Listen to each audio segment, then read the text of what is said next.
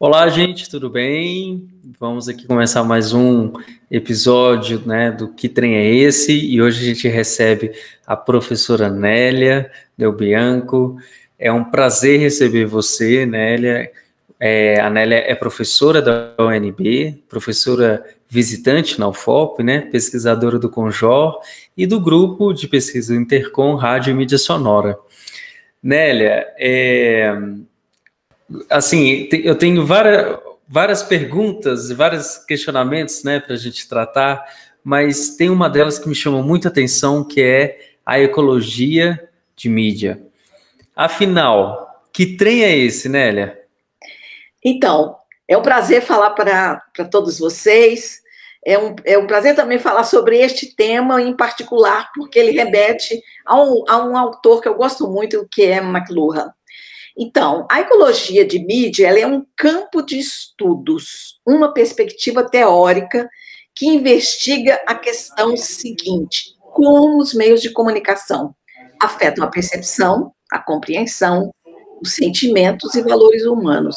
Portanto, a dimensão é, da ecologia implica num estudo de ambientes. E esse estudo de ambientes envolve também estudar sua estrutura, conteúdo e o impacto dele é, é, sobre as pessoas.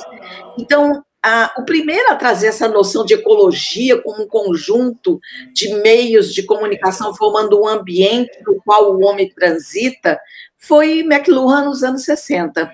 No momento em que ele analisava a força emergente da mídia eletrônica, formando, segundo ele, um ambiente que nos rodeia, envolve e circula, McLuhan trouxe para a gente um ampliou a nossa visão, a nossa percepção sobre a, o papel das mídias é, inserido no nosso cotidiano. E é interessante que muitas vezes nós estamos imersos nesse ambiente, né?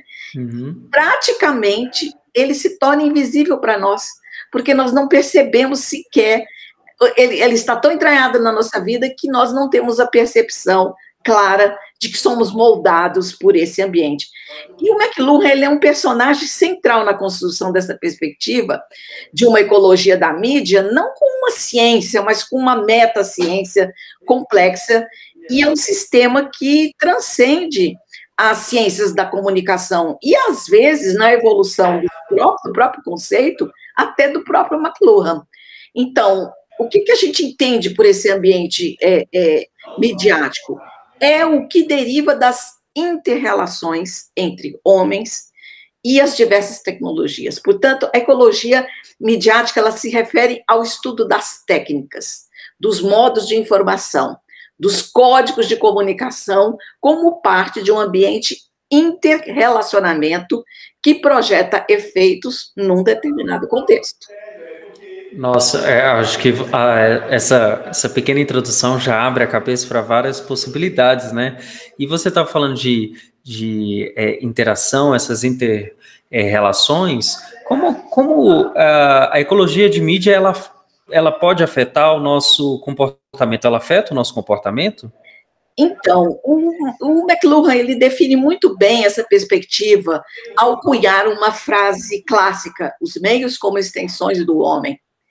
Então, com esta frase que durante um bom tempo foi muito mal compreendida, principalmente pelos, pelos teóricos da perspectiva crítica, porque com essa frase ele está querendo descrever que cada mídia ela, ela, ela dá um elemento na composição desse ambiente. E ao falar sobre rádio, que é um objeto do meu grande interesse, né, de pesquisa de muitos anos, ele, ele, ele, ele traduz muito bem essa ideia das extensões. Ele diz, ao produzir imagens auditivas, o rádio ele criou um ambiente totalmente inclusivo para as pessoas, porque ele absorve a, a atenção das pessoas num mundo particular, mesmo que ela esteja numa multidão. Observe quem caminha é, pelas ruas ouvindo rádio pelo celular. Ele está imerso naquela audição. Isso faz alargar o sentido de audição e as próprias faculdades humanas, tornando-se o que ele chamava de uma extensão do sistema nervoso central. E por essa característica, lógico que isso altera os índices de sensibilidade e os modos que nós temos de perceber o real. Portanto, ele dizia: olha, olha como o rádio envolve as pessoas nesse sistema nervoso de informação, de hora certa, prestação de serviço, e ao mesmo tempo ele cria um ambiente de cumplicidade, intimidade e também nos afeta porque ele faz uma comunicação afetiva. Então, observe que o efeito do meio ele se torna mais forte e intenso justamente porque o seu conteúdo, segundo McLuhan, é um meio.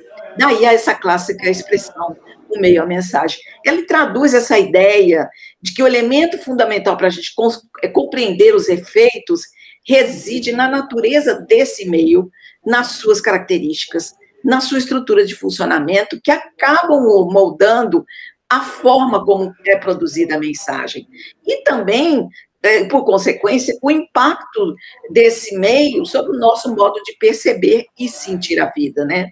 Uhum. Então, essa perspectiva, segundo McLuhan, faz a gente pensar sobre a cegueira que nós temos hoje numa tecnologia pré-existente, uma tecnologia que é, que é produzida e que ela, às vezes, é, é, nem sequer é notada, né? E, às vezes, em momentos históricos de choque e tensão, as pessoas se integraram, entregaram-se totalmente aos efeitos desses meios. Vide hoje a fascinação que as redes sociais exercem sobre as pessoas. Há uma entrega é, é, total em relação a esse ambiente que as mídias sociais projetam sobre a existência humana, né? De que eu uhum. posso ver e conversar com as outras pessoas, posso me ver naquele lugar, posso me expressar naquele lugar, mas também há um, também um estado de inconsciência e hipnose de parte da nossa sociedade que recebe essa tecnologia, porque ela pode também levar a um caráter deformante ou até desastroso quando ela não é conscientemente incorporada nosso, ao nosso modo de, de, de vida. Então, o mérito de McLuhan foi colocar a tecnologia no centro das mudanças para mostrar como a nossa memória, a nossa percepção, as nossas prioridades são afetadas por ela. Basta ver a quantidade de tempo que gastamos é, vinculados a uma, uma rede social. Então, ao, ao contrário de aprisionar, essa ambiência tecnológica, ela fornece também uma janela para o homem perceber o mundo.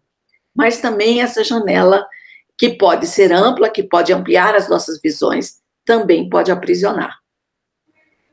Nossa, é, você me falando, me, assim, entre várias reflexões, me veio é, esse momento de pandemia, né, da gente assimilar tão rapidamente é, as reuniões online, né, o, o, próprio vídeo de um outro caráter, né, um caráter profissional, um caráter né, da conversação que é mais formal e que é, parece que tá, está tomando conta inconscientemente mesmo, né, a gente hoje é um meio um ano e meio depois de pandemia, a gente faz é, happy hours, é, conversações é, por, por vídeo, né? Coisas que talvez antes da pandemia a gente fazia em caráter muito excepcional e hoje se tornam comum. Né? E acabou que você respondeu uma outra questão que eu tinha a respeito dessa ecologia de mídia, não só afetar o nosso comportamento, mas como as outras relações também, igual, igual você disse, em relação ao interesse, aos nossos objetivos, ao nosso afeto, como essa ecologia também ela, ela afeta é, esses lugares do subconsciente, né? Exato. Então, é, é, essa que é a vantagem que o, o conceito, a perspectiva de pesquisa da ecologia da mídia, ela não é fechada. Ela está uhum. sempre sendo reelaborada ao longo de, das décadas e ela está cada vez mais abarcando, né, essas distintas relações que nós temos entre tecnologia e natureza. Então, a forma como as pessoas fazem uso da tecnologia no ambiente é, midiático, convergente, cada vez mais convergente, eles geram novas dinâmicas interacionais, como a que você acabou de citar. Nós não tínhamos é, é, como uma dinâmica, como uma prática, a, a aula online. Ela uhum. acabou se incorporando a essa dinâmica interacional, porque as mídias mantêm entre si e elas precisam ser analisadas criticamente dentro do âmbito dessas novas dinâmicas. Criou uma facilidade, mas também criou um distanciamento entre professores e alunos sobre alguns aspectos, porque a interação corpo a corpo, visual e, e, e de uma certa forma tátil, né, entre professores uhum. e alunos, repercute num outro tipo de aprendizado, muitas vezes muito mais eficiente do que esse mediado pela tecnologia. Outro autor que também, além do McLuhan, a gente tem que é, é lembrar que o Neil Postman, ele desenvolveu uma visão ecológica, crítica e ética desse sistema midiático no qual nós estamos imersos. E para ele, a palavra ecologia implica num estudo de ambientes que implica nessa estrutura, no conteúdo, no impacto sobre as pessoas. Ou seja, se existem plataformas, essas plataformas não vieram de graça. Elas têm suas implicações econômicas e políticas e sociais que nós não podemos, de forma alguma, negligenciá-las na, na, em qualquer análise. E o Postman, ele ampliou o conceito, dizendo que a nossa visão de mundo ela é criada pelos meios de comunicação e cada meio propõe uma nova orientação para o pensamento, a expressão, para a sensibilidade do mundo. E os meios classificam o mundo como nosso, o que é uhum. muito interessante. Nós nos apropriamos rapidamente dessa para o sistema de ensino e tornamos ele parte de nós, como sendo o nosso mundo de hoje. E com a popularização da internet nos anos 2000, vários pesquisadores voltaram para a ecologia de mídia, tentando entender os impactos da multi, do multimídia, das novas interatividades. E essa corrente foi conhecida como nova ecologia dos meios, né? O, com o processo convergente digital, há, há também há não só uma emergência de nove, novas mídias, mas houve também algo muito importante em relação aos estudos tradicionais da ecologia de mídia. Uma quebra do, do paradigma é, tradicional formado nos modelos de mídia de broadcasting, rádio, televisão, jornal. Então, hoje o ambiente ele é marcado por uma consolidação das novas das redes de informação que se desenvolveram, que têm um avanço acelerado e uma grande penetrabilidade digital. Então, hoje os estudos estão muito concentrados nisso. E a gente podia chamar a atenção também para os estudos culturais latino-americanos que propõem olhar para essa ecologia de mídia a partir da cultura, a partir dos processos comunicacionais que se dão no cotidiano das pessoas, nas relações que elas estabelecem com os produtos culturais e com os meios de comunicação. Acho extremamente promissora essa linha que envolve os estudos com a cultura, porque a análise vai além dos efeitos. Se passa a estudar o processo de comunicação, é, colocando não só a questão da recepção, ou seja, como ele interage, mas também das resistências.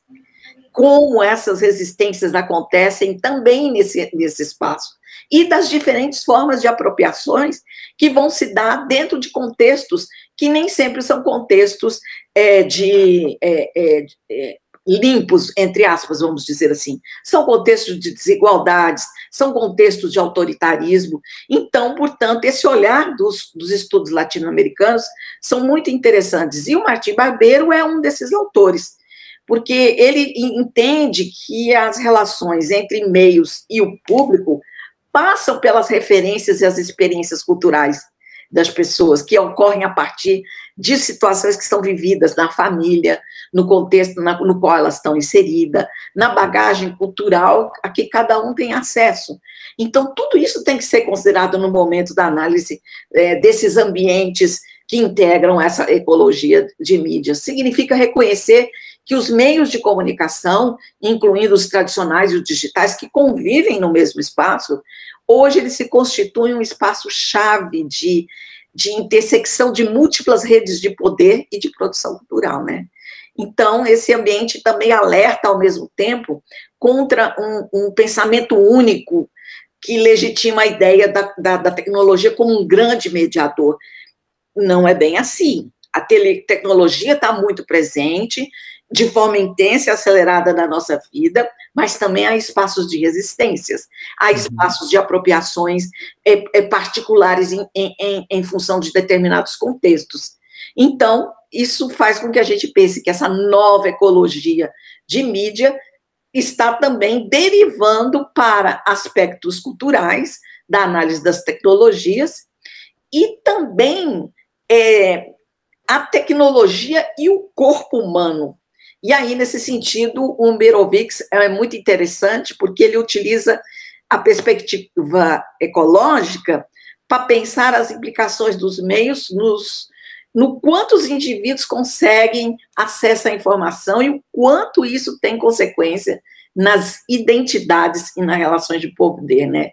Então, Merovitz, ele propõe que a vida social seja compreendida como um processo de troca de informações a partir do qual são formadas identidades pessoais de grupos, relações sociais e estruturas de poder. Portanto, o cotidiano ele é parte dessas relações de comunicação e devem ser pensados nos estudos de, de ecologia de mídia, né? E uhum. também essa interação homem-máquina, né? Que, que, são os estudos que estão sendo levados à frente em relação a conteúdos que, que, que se, é, é, que se projetam em telas táteis. Quando eu estudo ecologia do, da mídia, eu não olho só sobre os efeitos, mas eu olho como é que se dão essas interfaces homem-máquina. E a linguagem das interfaces como um grande elemento para entender como é que tudo isso se torna tão familiar para todos nós, né? Então, essa nova ecologia de mídia que está sendo estudada nessa relação homem-máquina, ela não fica restrita à etapa da recepção, né?